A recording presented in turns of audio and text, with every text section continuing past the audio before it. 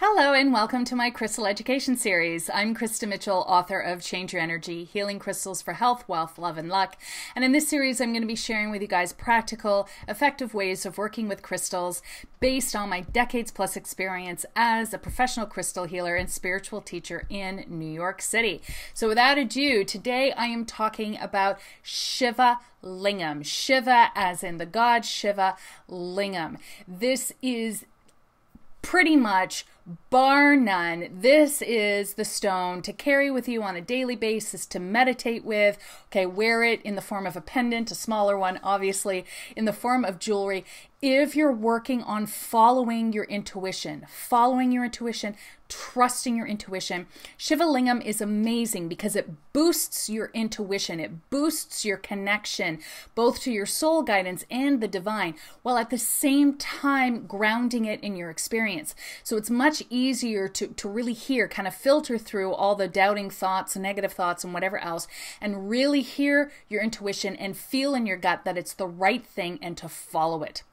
So wear Shivalingam for that. You can also wear Shivalingam to boost Shivalingam to boost your energy. Whenever I was feeling tired, run down, whatever else, when I was working in New York City, I'd always grab a smaller piece of Shivalingam, either pop it in my bra, in my pocket, or just hold it while I was commuting.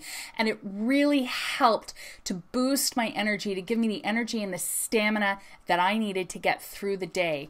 You can meditate with Shivalingam for grounding, okay, for centering, for balancing of your energy. It helps to balance your energy both emotionally. It also helps to balance if you're feeling one or the other too much yin, too much yang, too much uh, masculine energy, too much feminine energy. It helps you bring uh, bring yourself back into a place of center and balance. It's excellent. Again, meditating with it or or wearing it to help boost your confidence.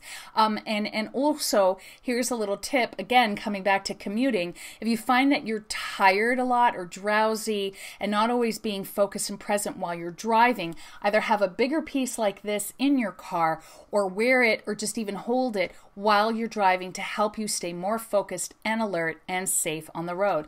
So that's Shivalingam. To read the text from this video and to see more pictures of Shivalingam, go to my website at krista-mitchell.com where you can also learn more about my online crystal healer certification course that is registering now.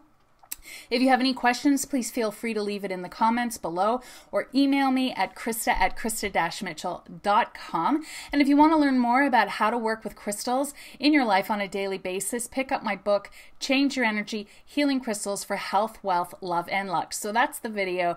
Thank you so much for watching. Please do subscribe. More videos are on their way. Namaste.